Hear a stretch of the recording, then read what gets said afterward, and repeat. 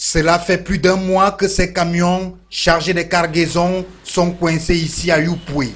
Sur le terrain, les chauffeurs évoquent quelques raisons de ce stationnement inhabituel. Nous transportons euh, les matières premières du ciment pour le Tchad.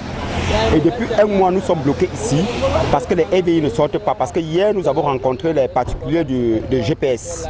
Bon, Ici à l'intérieur, Transimest, Transafrique, comme c'est les sociétés les plus potentielles, quand ils viennent ici charger, le lendemain, les EBI sort et les GPS sortent.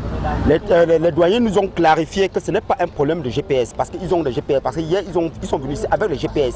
Rendu au Bureau national de l'Organisation des transporteurs du Cameroun, les responsables sont bien au courant de cette situation. Ils évoquent un problème de non-délivrance des lettres de voiture internationales dont le bureau de gestion du fret terrestre détient l'exclusivité.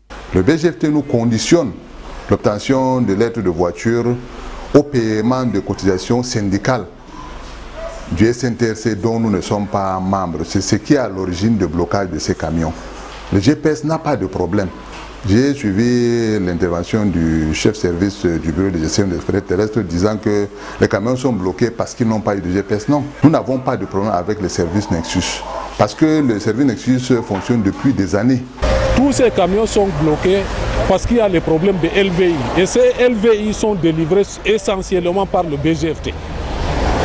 Et il se trouve que le BGFT aujourd'hui n'accepte pas d'autres syndicats, alors que nous sommes en temps de libéralisation où, où, il y a plusieurs syndicats. Et que selon la loi, chacun va cotiser dans le syndicat de son choix. Et on exige à d'autres syndicats maintenant de cotiser au sein de l'ancien SNTRC, qui était le seul syndicat unique au Cameroun. Selon les transporteurs, il ne s'agit pas d'un problème lié à la pénurie des balises GPS même si les responsables de la cellule Nexus de la douane n'ont pas souhaité s'exprimer sur la question.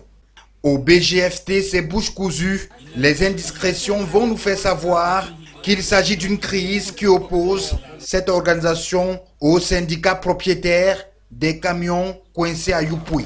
C'est une affaire à suivre.